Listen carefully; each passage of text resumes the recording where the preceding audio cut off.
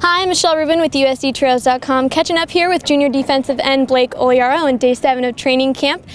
Blake, you've gotten a lot of preseason recognition. You're even on the Buchanan watch list for top FCS Defender of the Year. That's that's got to boost your confidence going into the season. What does this mean to you? Uh, I mean, it means a lot. You know, um, it's it's a huge honor to be recognized by uh, on the national scale. Um, that being said, you know, it takes 11 guys to win a football game, and just because I'm getting all the recognition doesn't mean you know the rest of the defense has to play well. So it, you know, just because I'm getting it doesn't mean we don't. We have 11 good players. Well, you've been on the team for three years. What kind of leadership role are you going to have to take this season? Um, well, definitely, I'm gonna have to. You know, I've never been really a big uh, hoorah guy. I always, I always like to lead by example, but uh, definitely would like to take on a little bit more of a leadership role this year. You know, definitely, uh, I'm a veteran now. You know, fourth year in the program, and so I think a lot of you know the younger guys are starting to look up to, to the older guys and you know kind of lead the way for the, the younger kids. Definitely. And you played for Folsom High School, which is a really good football program. And then last year you got PFL Defensive Player of the Year. What kind of expectations did you have in high school, and did they match up with all the recognition you've gotten in college so far? Uh, absolutely not. You know, I, I coming out of high school, I was just I was happy to play anywhere I could.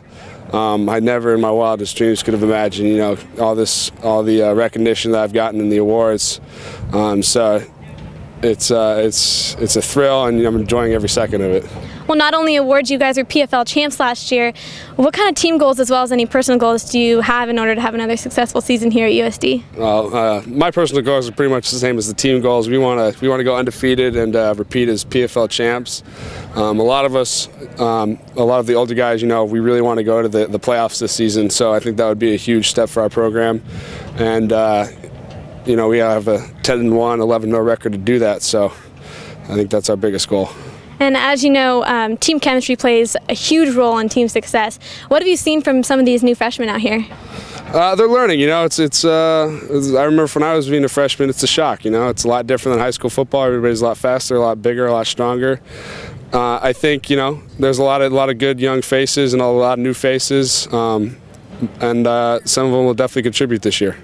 Is there any uh, specific people we should look out for besides yourself? Uh, well, he's not a freshman this year, but our, our running back Joe Ferguson, number 34, is, uh, has really stepped up at the running back position, and he'll be a, a really big contributor for us this year. Uh, a couple wide receivers. Um, you know, we got some good guys on defense, some some new faces at corner and at safety, but I think uh, on the, the whole, our uh, our core group is made up of returning players, so that's the that's the group we're going to rely on. And what teams are you looking forward to playing most this season? Um, well, we have our traditional rivalries with uh, Dayton and Drake and Jacksonville. Um, we, we were really looking forward to the Campbell game because they kind of got us last year. That was our only only league loss, so definitely want to get back at them. Uh, really excited, really excited for the Cal Poly game opening up the season. So that should be a real exciting game. Well, thank you very much. Good luck for the season and the rest of training camp, definitely. Uh, the Toreros kick off their season September 1st on Saturday at 4 p.m. at Cal Poly San Luis Obispo.